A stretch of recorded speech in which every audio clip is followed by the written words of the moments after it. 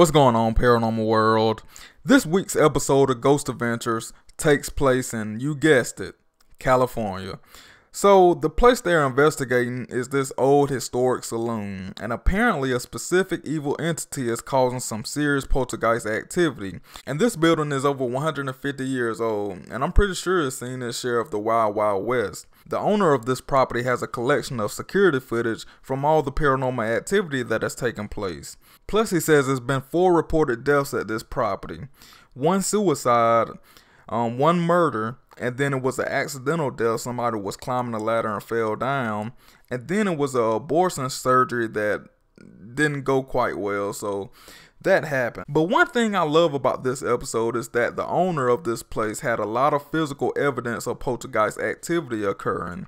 The camera footage he was showing, I mean, it was just unbelievable. He showed one where a knife was falling down on the ground, and the lady that was in the security video you could see her reaction and it was legit. She looked behind her. She said, Oh no, I'm out of here. I know that was paranormal, so I'm not to play around with it.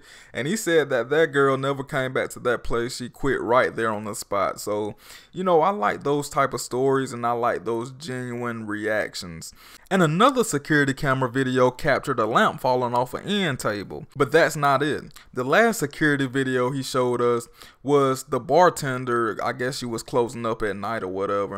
But she was walking past and all of a sudden this car tire just fell down on its own. And you know, anybody who knows, you know, about cars or whatever, you know how heavy a tire is. So that was a strong entity to cause that tire to flip over like that.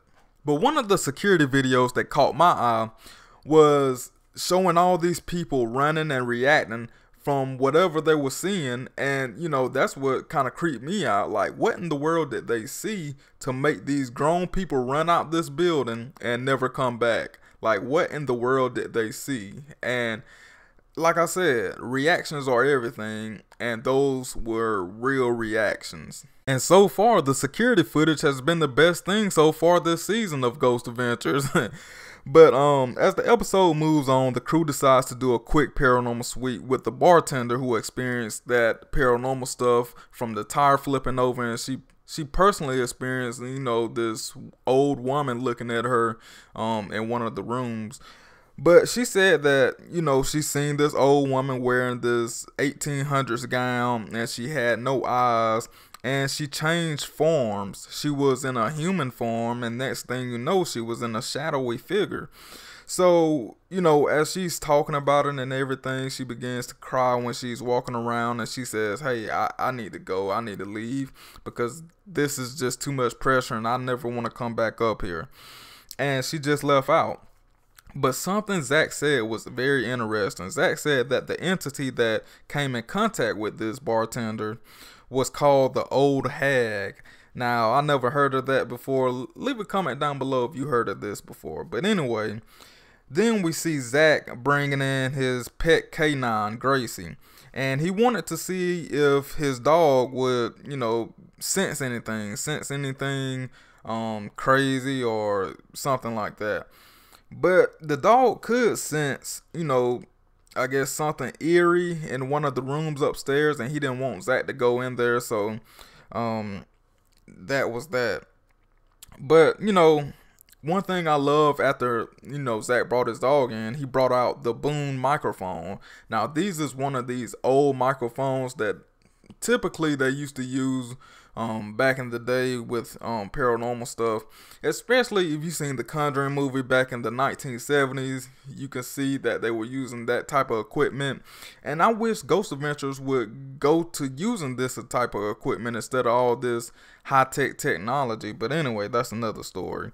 So on day two, they reviewed some EVPs they captured the day before, and the EVPs seemed real and very different from previous episodes of Ghost Adventures. They seem more real, a lot more subtle and faint. So that's something I caught on to. So the lockdown actually begins, and it seems like they spent most of the time in the lockdown using the Polterpod device. And that's probably one of the worst pieces of technology I hate about Ghost Adventures is this Polterpod device. I I can't stand it. But anyway, they were communicating back and forth with this entity. But anyway, um towards the end of the episode, they captured uh I guess a shadowy figure crossing past the X camera. And speaking of the X camera, can we bring back like them showing the X camera, like showing them put the tape down. I miss that about those episodes, man. It's just stuff like that that can bring, you know, joy back to Ghost Adventures. Y'all get what I'm saying? But anyway, how do you all feel about this episode? Me personally, I will have to say that this is probably the best episode since the Cecil Hotel special. And that's not really saying much, but at the same time, you know, what are you gonna do? But yeah, how do you all feel about this episode? Did you like it or did you dislike it? Let me know down in the comment section below. And if you love any and everything paranormal, then make sure you check out my channel and subscribe if you like it. And hit that notification button so you can see every time I upload. As always, be safe, peace.